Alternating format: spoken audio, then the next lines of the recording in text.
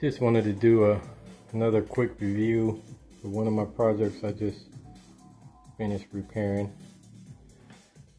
This is the audio control octave equalizer.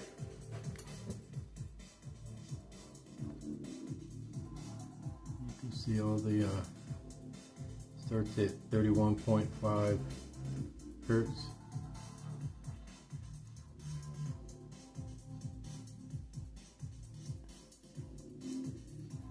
each uh, equalizer channel does left and right. That's why there's two for each. If you're not familiar with audio control, they're a company based out of um, Washington State in uh, Mountlake Terrace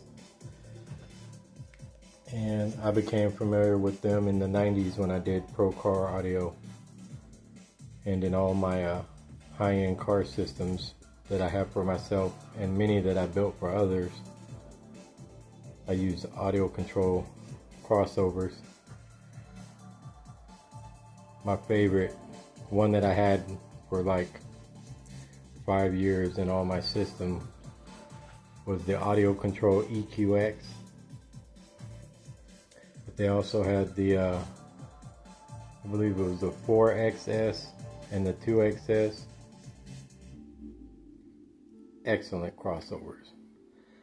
I didn't even know they made uh, home audio, but I ran across this on an auction and picked this up for uh,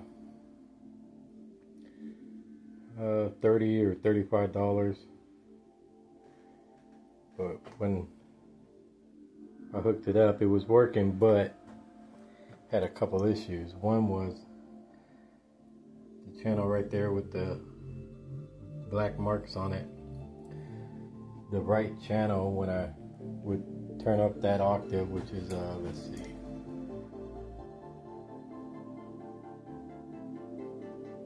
The 1000 hertz. The right channel would, when you turned it up, would turn up all sound, like highs, lows, everything, so that I knew there was something wrong with the crossover. So I went through and uh, tested, uh, started out by testing all the larger capacitors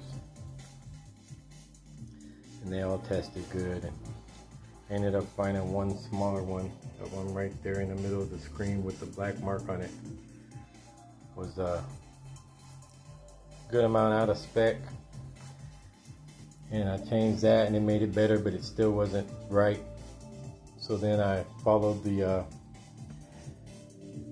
that channel on the board like followed it through these this wiring and followed the traces on the board and I reflowed the solder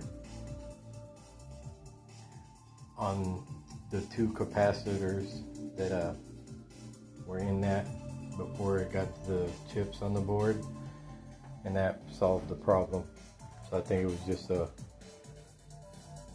broken uh, solder connection on those in combination with a pretty almost bad capacitor. I tested around a bunch on the rest of the board and everything else seems fine. But another issue is uh, broken lights so I'll end up replacing those with new uh, LEDs. But this is something I'm repairing to keep for myself for my own sound system. In all my uh, Pro Car Audio systems I always had equalizers. I usually ran the Alpine 11 band equalizer with the separate subwoofer crossover and on and off switch in all my systems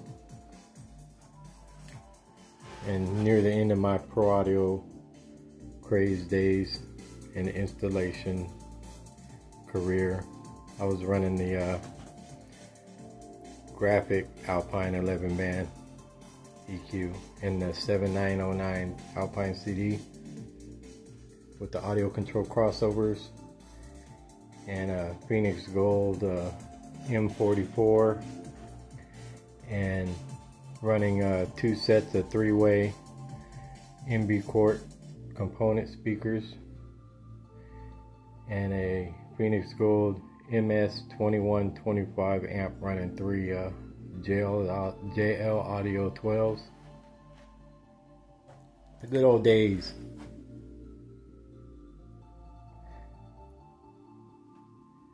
But anyway, it's just a hobby of mine. Really enjoyed keeping uh, this older audio gear in operation because most people just throw it away when it goes bad.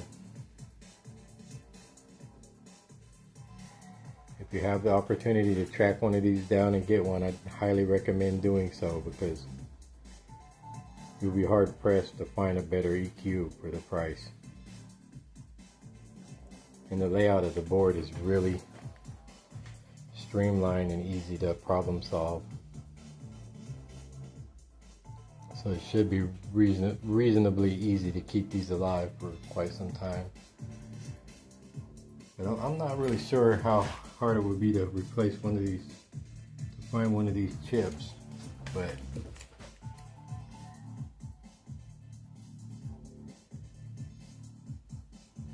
I may have to look into that and buy a couple spares just to keep, because everything else is basic materials. Anyways, just another video of one of my restoration projects. I'm probably gonna um, wrap the face in case of this, uh, the exterior of this EQ with a wood grain and I won't have any markings on it because I, I actually don't need them just give it a unique look. We'll see. Take it easy people